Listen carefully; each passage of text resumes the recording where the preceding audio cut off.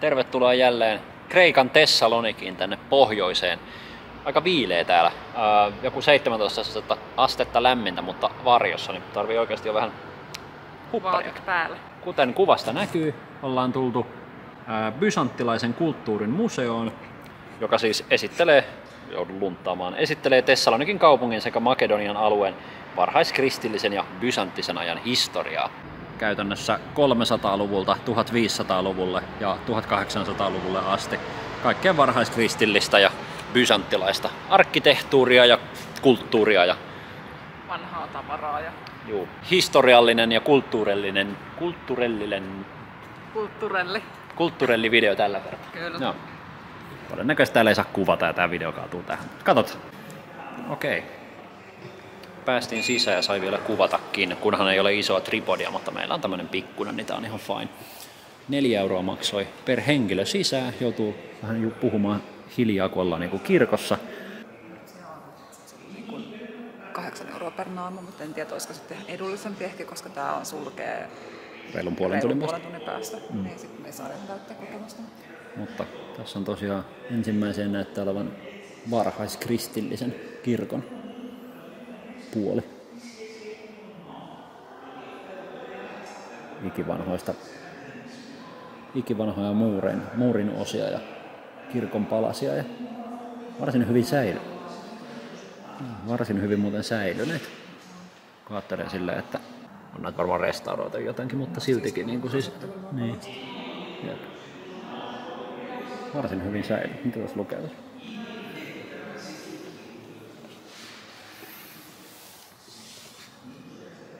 Vuodelta 600. Tämä on muuten sitä Filippi-museosta, mitä mehän me itse asiassa ajateltiin, että voisi käydä tuolla Filippissä, joka on semmoinen siis historiallinen kaupunki, jossa on myös paljon Joo. vanhaa arkkitehtuuria, niin Kyllä. se olisi ihan mielenkiintoista nähdä. Niitä on sitten vaan siirretty tänne, varmaan koska tämä on isompi kaupunki, niin ehkä ihmiset enemmän näkeekin tämä. Tämä on kuitenkin Kreikan toiseksi suurin kaupunki. Pyhän Demetriuksen kirkon palaset. Ja se on muuten hauska, siis täällä ei ole niin kuin mitenkään näitä suojattu. Näissä ei ole mitään lasibokseja edessä. Joo, ei. ei. Ja hyvin just pystytetty, että tämä on niin originaalinen näkö. Joissain näyttää olevan lasibokset, niin mikähän tää on, kun tää on boksin sisällä. Late 4th century. Tää on niin 400-luvulta. Joo. Joku, mikä toi se on? Mä en tiedä mikä on reguari. Reliquary. Ja se lukee tässä translateina, kun en nyt osaa sanoa mikä tämä on, tosi... Niin, sitten tultiin nähtävästi. Jon, tässä on itse asiassa vanha kri, ar, varhaiskristillisen ajalta. Tässä on joku asunto, tai siis ollut. Ainakin se jäämistöt ja se mitä asunnosta on löytynyt. Täällä on vanha, vanha löylykauha. Ja, niin, tää on niinku, täällä on ollut vanha kylän seppä. Näkyy täällä ylhäällä, mitä kaikkea täällä on tehty. Tässä on Tuohon on laitettu sormukset roikkumaan ja sitten tehnyt valtasormuksia siitä.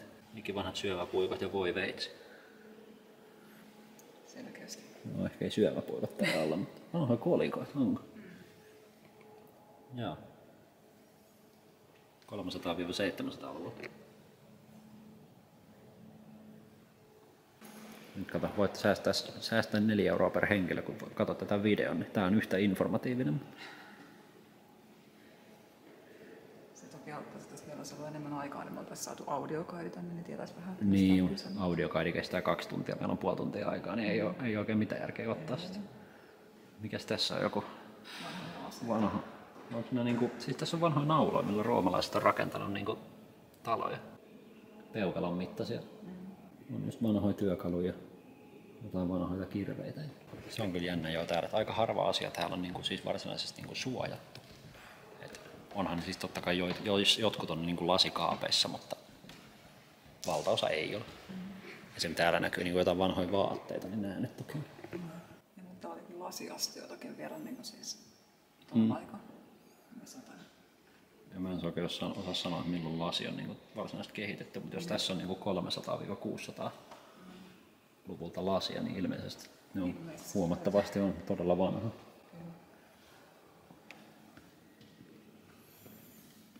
Mä en edes näe, mitä nämä on. Siinä on vanha, vanha kampo ainakin tuossa. No vanha kampa ja no korvatikkuja. Hammas? Earpics.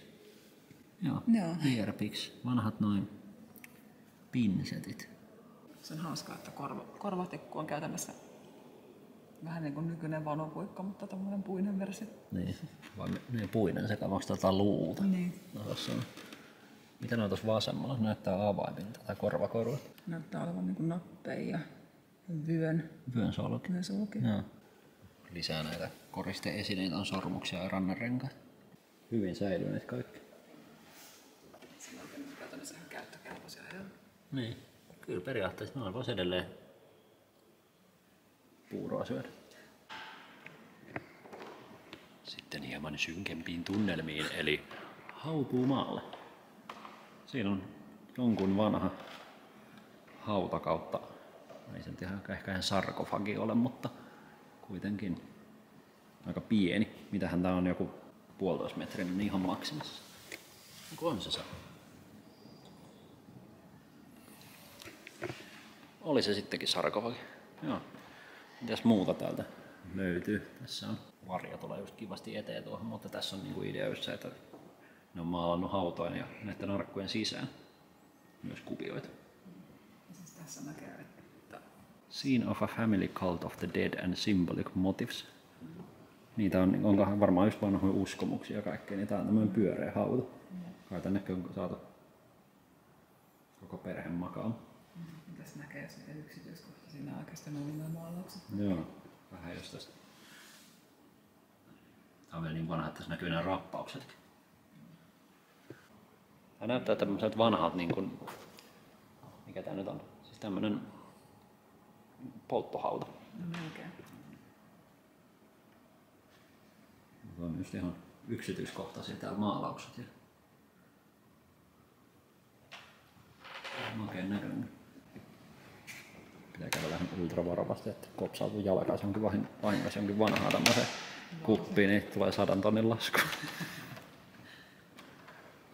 Siinä siinä voidaan sanoa, että maksella on hetki. Kyllähän tällaiset nyt viiniä hörppisi. Niin. Äkkiäkös tuossa nyt savi, savikurssilla käy ja tekee tuolla? Kyllä sitten meillä idea olla saven, valmiskurssia ja itsellä tämmöinen viini. Joo. Joo. Ja muuta kuin saviruukkujen kanssa leikkimään. Tässä käy vanhoja pronssisikolikoita.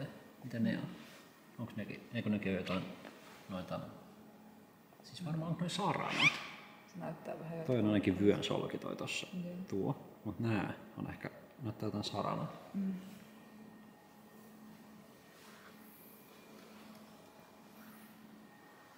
Kivasti heijastaa tää video, tuota, kamera näistä, mutta ehkä tästä nyt jotain selvää. Hautamaalauksia. Tässä on joku soturi haudattu, kun tässä on miekat. Tässä on jotain kaloja, kalastajajuttuja. Mutta on silleen, kun ajattelee, että tämäkin on 1600 vuotta vanha. Toki uudistuu koko ajan, että nämä on sitten niinku ku- vuodelta 600. Täällä on siinä mielessä hyvä kulkea, kun täällä ei ole oikeasti ketään. Mitähän täällä oli? Tuolla oli joku pieni, pieni porukka, siellä oli vissiin kolme ihmismeijän lisäksi. Joo, niillä oli joku opastettu Joo, kierros. siinä mielessä, kun ajattelee, että tämä mesta menee ihan kohta kiinni, niin 20 minuutin päästä. Joo, niin kyllä tästä tota, aika hyvin saa kyllä rauhassa kulkea. Joo. Sitten tulemme linnaosastolle. Kuulemaan bysanttilaisia linnoituksia. Tai no, niin luultiin. Eipä tää itse asiassa näytäkään olevan. Tässä on jotain niin kuin seppä ja tämmöiset niin kuin ihmiset, jotka tekevät asioita käsillään niin kuin kaikessa tarkoituksessa. Niin täällä on just jotain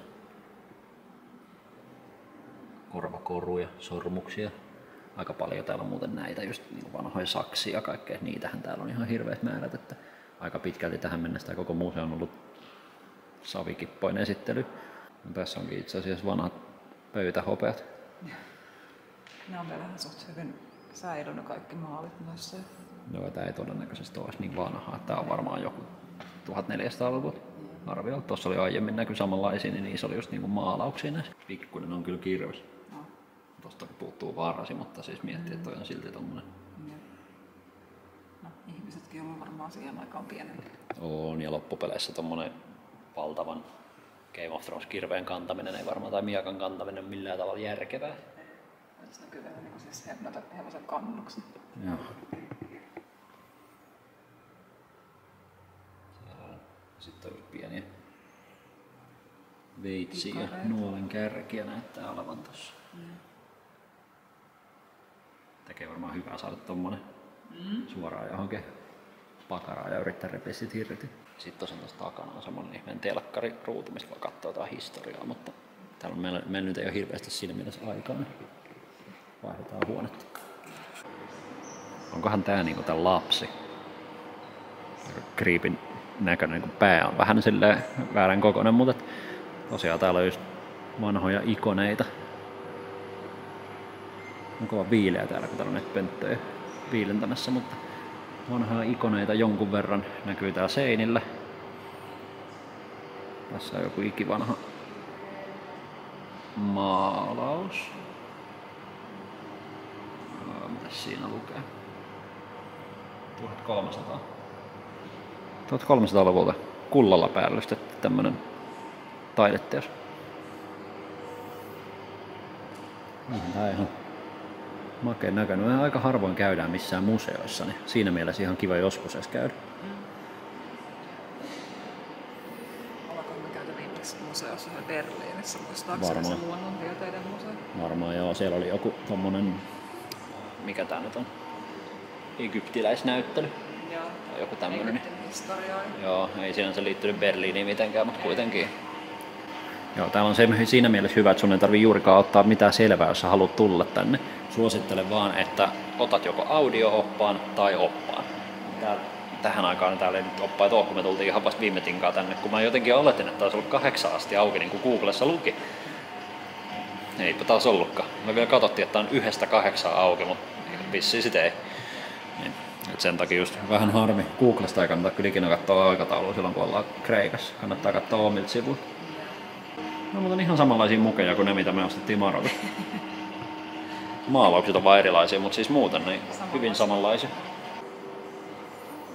Onko tässäkin joku, onko tää joku vanha penkki vaan vai mikä tää niinku on? Eikö sekin ole joku sarkofagi? Niin. On mun lepopaikka. No niin se onkin ollut näköjään osa tällaista kokonaista. Sitten on justiinsa, tässä on siis niin kuin ortodoksisia maalauksia ja kaiverruksia, mitä on niin kuin lähetetty tähän museoon eri paikoista. Ja sitten täällä on just niin kuin erilaisia, tuosta nyt vaikka tuo, niin tää on löytynyt niin kuin Vene, tai tehty Venetsiassa 1700-luvulla. Ja sitten vieressä on just samanlaisia eri paikoista. Tämä on tehty 1800-luvulla nimenomaan Venetsiassa. Tai löytynyt sieltä. Mä en ole ihan varma, onko se tehty vai löytynyt. Todennäköisesti lö- löytynyt. Tuskin sitä tekovuotta nyt näissä lukee. John the, joo, John the Baptist beheading. Vanhoja terrakottalamppuja ja samoja kuppeja. Hienon näköisiä nämä on kaikki, pakkohan se on myöntää. Näitähän oli joku 90 näitä, monta näitä oli. Onhan nämä kyllä yksityiskohtaisia hienoja, pakkohan se on myöntää. Joku ajattelee, että ne on tehty silloin kauan kauan sitten.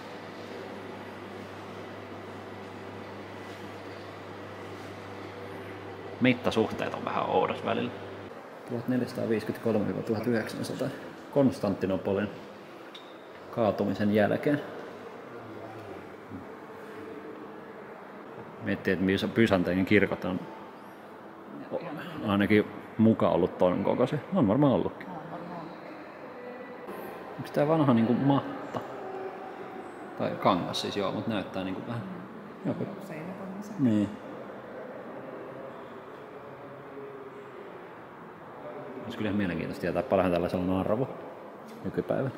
Veikkaan, että sen verran meillä ei ole varaa maksaa. Joo, no ei varma. Huomaa kyllä näissäkin, että näissä on, joko näissä on värit säilynyt tai nämä on restauroitu, mutta se, että näissä on enemmänkin käytetty värejä. Tuolla on joku verinen vaate taas, mutta mä en sitä oikein niin tiedä, mitä tämä niin esittää.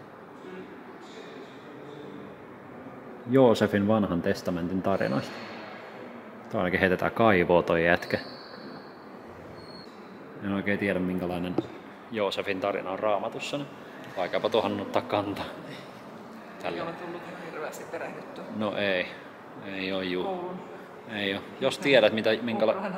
Jos tiedät minkälainen Joosef oli ja minkälainen tarina oli, niin kerro vaikka kommenteissa. Voidaan me toki itsekin se Wikipediasta lukea. mutta Nähtävästi täällä on just viimeinen ehtoollinen.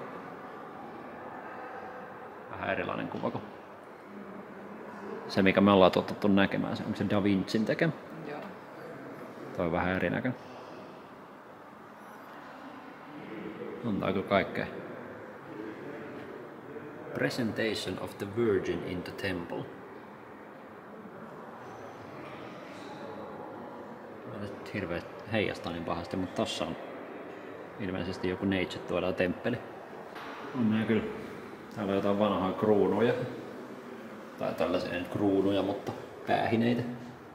Vanha ja viini, tommosia Joo. Pikareita. pikareita. No näin se on sinne, siinä mielessä niin kuin jotain tällaista tarttumapintaakin, kun nämä ei ole tavallaan liian vanhoja. Ne on tällaiset ikivanhat, 1000-2000 vuotta vanhat kivet. Niin ne on vähän silleen, että kun ne on jo niin vanhaa, niin ne yksityiskohdatkin on vuosisatojen varrella kadonnut, niin sitten ne vähän keräsi. Mut Se jotenkin tavallaan on vaikea niin oikeasti ymmärtää, miten vanhoja ne on. niitä tavallaan silleen, että mikä tämä on ollut. Tämä on kivipaasi. Niin se on niin vähän, ne on ehkä vähän liian kaukaisia, kun näistä enemmänkin saa irti jotain. Toi on muuten ihan suoraan ostettu jostain normaalista kuppia tuotu tänne. Tuo on ihan saman näköinen kuin meidän mukin. No ei se varmaan kyllä ole.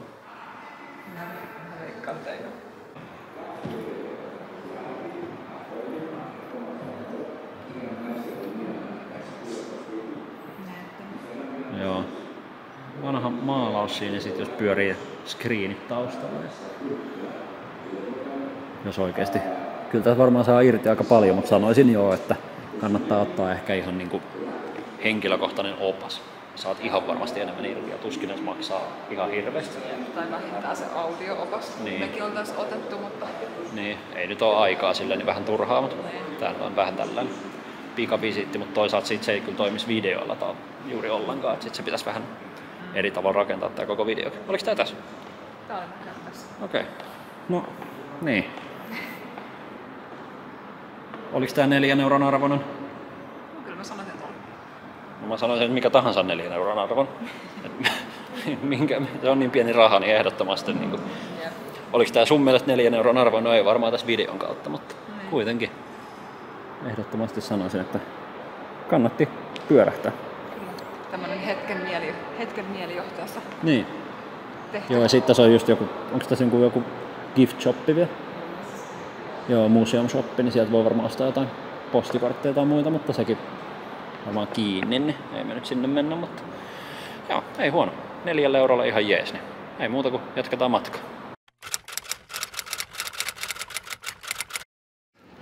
Ja koska tämä on nyt tämmönen kulttuuripäivä muutenkin, niin me ollaan nyt kävelemässä tässä Rantapulevardilla, missä missä näkyy herra Aleksanteri Suuren patsas. Aleksanteri Suurihan oli siis Makedonian ensimmäinen kuningas ja suht kova sotapäällikkö. Että, Valloitteli maailmaa. juu, anna melkein Intia asti, vai menikö ihan Intia asti jopa? Taas mennäkin. Siinä joo. En tiedä, varsin hyvä kuntoinen, kun ajattelee, että ei olisi pulunpaskan peittämä. Yleensä nämä patsaat on just siitä, mutta tää on niinku putsattukin. No siis, sitten tässä on vielä vanhoja kreikkalaisia keihäitä kilpineen. En tiedä. Pitäisi joskus. Siinä mielessä me nyt ajateltiin vähän, että me ollaan tässä Tessalonikissa tälleen vähän kuvailemassa, mutta jossain vaiheessa lähdetään käymään vähän tuolla, onko se Kavalan alueella ja siellä Joo. niin siellä olisi vähän enemmänkin jotain nähtävää ja vähän luontoakin ja kaikkea muuta. Ja Spartassa olisi kiva käydä, jos sitä olisi enää siis olemassakaan, mutta siis se, että ne Spartan rauniot ja se, mutta kun sitten se on melkein Ateenassa asti, niin Jep. Ei Sinne, sinne joutuu oikeasti vähän juu. oikeasti lähtemään. Joo, se on niinku viiden tunnin ajomatka ja sitten kaiken lisäksi, kun siellä ei sit oikeastaan ole mitään, Niin. niin sit se on vähän silleen turha. Tää on just hyvä tää. Ajattelee silleen tätä rantapulevardia. Eipä täällä nyt ihan hirveästi ihmisiä ole. Ei tänään. Yleensä tää on niin varsinkin viikonloppuisin tää on ihan turvoksissa. Joo, viikonloppuisin, mutta tälleen niinku tiistaina kahdelta päivällä vaan Joo. kello on, niin täällä on kyllä niinku kovinkaan montaa ihmistä. Ei. Ja sitten varsinkin kun turismi, turistit ja kaikki nääkin on pikkuhiljaa ja vähän niinku Kadonnut. kadonnut, niin tota, ei tää nyt ihan hirveästi sitä. Kyllä jonkun verran turisteja on, varsinkin jotain romanialaisia autoja näkyy jonkun verran, mutta muuten niin ne on sitten tänään jossain muualla. Ihan rauhassa saa tallustella ja Joo, nyt jos halus mennä katsomaan valkoiseen torniikin, mm-hmm. sinne pääsi varsin helposti. Sehän on vaan kuulemma, mitä me ollaan tosta tutuilta, ketkä täällä oli, tai kaverit, ketkä oli käymässä ja ne meni tonne valkoiseen torniin. Niin se on kuulemma vähän siinä mielessä pettymys, että se, siellä sisällä on semmosia niin historiallisia näytöksiä tai semmosia jotain tauluja ja tekstejä ja muita, mutta ne ei varsinaisesti mikään liity tuohon torniin. Et se vähän niin kuin liittyy nimenomaan siihen, miten tämä kaupunki on rakennettu, mutta niistä ei mainita tuossa tornista mitään. Nyt sitä se vähän kertoi se Anu, kuka oli käynyt tuolla. Se oli vähän hassu. Tuolta näkyy muuten hienosti tuo vanha kaupunki tosta just, just, just astuit eteen. Vähän näkyy zoomaa, niin tuolla vanha kaupunki tuolla mäen päällä, niin makeen näköistä tuolla. Se mitä tästä nyt näkee. Joo, vielä ei joulu hirveämmin täällä näy. Tälleen joulukalenterit on kyllä tullut itse asiassa myyntiin. Ja sitten tuolla on joulukuusi tuolla edessä. Joulukoristeitahan on kaupat No niitä on joo, mutta niinku muuten niin. Kaupoissa näkyy joulu, mutta ei missään muualla. Hirveämmin, että ehkä jotain kappale, biisei saattaa jossain kuulua pikkuhiljaa, mutta kyllä se tänne pikkuhiljaa tulee. Mä kyllä vähän oottelen, että minkälainen tuo joulukausi tulee täällä olemaan. Että odotukset on korkealla, Juu, niin sanotusti. Lunta olisi kiva saada, mutta tuskinpa saada. Tuskin saada. Sitä ei kuulemma pari vuotta ei täällä näkynyt, mutta katsotaan sitten, nyt todennäköisesti tulee. Niin, 20. metrilunta. Niin.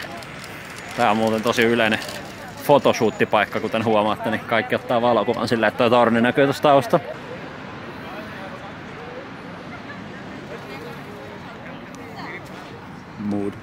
Hänellä on siinä paikka. No, se on sama koira. aina- Aina se nukkuu tässä ja sitten kun tulee vaan liikaa varjo, niin se vaan siirtyy seuraavaan kohtaan. Se on aina tässä samassa Löytää aina paikassa. uuden aurinkoisen Jep. spotin. Juman kautta, jos itselleni pitäisi ostaa tää lahjo, niin ai jumalauta. Siis kunnon vakoja väline. Mun kautta olisi Markus 35V tyytyvä. Kuka tahansa lapsi haluaa tällaiset lahjat. Siis Yökiikari. Yökiikari. Mutta joo, me pyörähettiin tuossa äsken ja tähän klippi vaikka noista joulukoristeista, mitä löytyy kaupassa. Niin ihan mahtavia. Mä keksisin miljoona joululahja-ideaa täältä, kun niitä vois ostella. Joo, täytyy ehkä täältä ostaakin vähän tuttaville ja lähettää sun muuta. Mutta tota, joo, siis täytyy kyllä sanoa, että tää on melkein sellainen paikka, mä voisin itsekin laittaa omat rahani kasata nyt, ostaa tällaisen. Oman kautta. Mä en tiedä mikä tää on. Gormiti. Makeen, tai joku tämmönen robotti. Näyttää vähän Transformers, mutta ei varmaan ole. Joo, kyllähän täällä niinku... Täällä on lapsille ja lapsen mielisille vaikka mitä. Vaikka löytyisi sillä sun kummilapselle Joo. joululahja. No jos jostain se löytyy, niin se löytyy täältä. Jep. Playmobiilit on muuten täällä kova juttu. Niitä on siitä tosi paljon. Jep. Sitten jos haluaa olla kostaja, niin sieltä saa hattua, kypärää ja maskia. On Spider-Man ja paljon se on Batman-figuuri. 15 euroa. Nostan itselleni tälle. Kunnon Ben Affleck figuuri.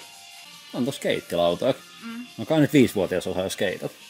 Jos se, Viimeistään sen jälkeen, kun sillä semmoisen ostaa. Joo. Jos se osaa, niin kohta osaa. Opettele. Sitten jos on Hot Wheels kerääjä, niin Sitten on. saisi tämmöisen mini-autoa kolmella kympillä.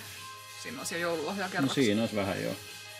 Tai sitten jos haluat olla suomalainen Espanjassa, niin siinä on. joo, Tää on siis selkeästi laatukontentti. on on on. Tän takia kannattaa ehdottomasti klikata tuosta tykätä ja tilata ja näin. Tää on se kontentti. Tätä tulee lisää.